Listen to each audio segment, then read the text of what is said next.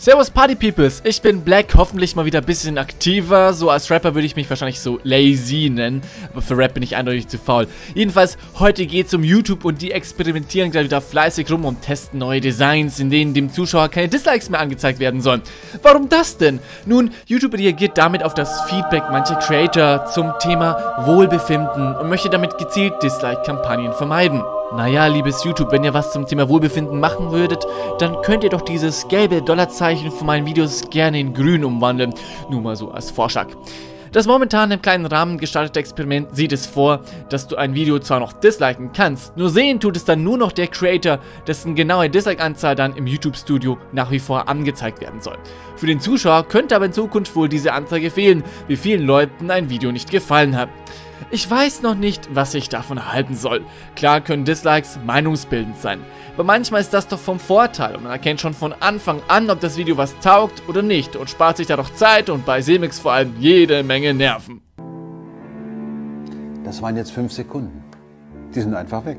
Die kommen auch nicht wieder. Gerade bei Tutorial-Videos war die Like-Verteilung für den User ein hilfreicher Indikator, ob das Video etwas taugt. Stichwort Clickbait. Aber gut, da reicht dann wohl immer noch ein Blick auf das Thumbnail. Und wieso sehen Männer in ihren YouTube-Thumbnails eigentlich immer so aus, als hätten sie gerade entweder einen Mord beobachtet oder in die Hose geschissen? Jedenfalls, für die Creator ist das sicherlich nicht schlecht, denn dann können Leute, die mit allem nichts anfangen können, Hust C-Max, den Gesamteindruck eines Videos nicht zerstören. Gerade auch noch für kleine YouTuber wäre das eine Hilfe, damit sie nicht direkt fertig gemacht werden können. Außerdem ist der Troll-Level bei dem Ding echt manchmal so over 9732,4. Ich hab's ausgerechnet. Denn man kann einfach etwas Scheiße finden und Statistiken damit versauen, ohne irgendeinen Grund. Zudem gibt es auf keiner anderen Social-Content-Plattform irgendwie eine Art Form der negativen Reaktion.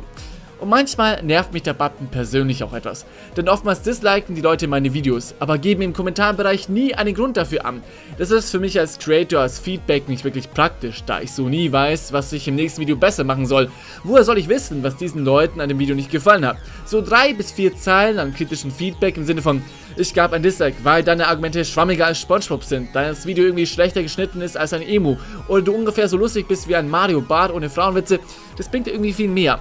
Aber irgendwie ist die Änderung auch sinnlos, denn jeder Creator hat sowieso die Möglichkeit, die Bewertungen in den Einstellungen abzuschalten. Und ohne Dislikes verlieren die Likes an Wert. Das wäre wie ein Mario Kart ohne Items. Vielleicht könnte YouTube auch einfach zur Sternewertung zurückkommen. Das macht doch mehr Sinn als diese schwarz-weiß-Like- oder Dislike-Politik.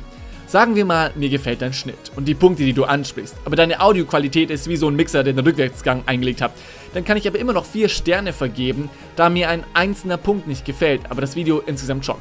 Aber das ist nur so ein Vorschlag von meiner Seite. Was ist eure Meinung über Dislikes? Braucht ihr die? Schreibt es gerne in die Kommentare und vergesst nicht, das Video mit einem Dislike zu versehen, bevor es nicht mehr geht. Äh, untersteht euch, ja. Links zu meinen Social Media findet ihr dann in der, unten in der Beschreibung. Ja, und Broadcast Yourself, Broadcast Together, wie immer, ihr kennt das Spiel. Und in diesem Sinne, bis zum nächsten Mal, euer Broad... ah, ich kann's nicht mehr. Ich bin komplett aus der Übung. Euer ungeschminkter Blackscreen.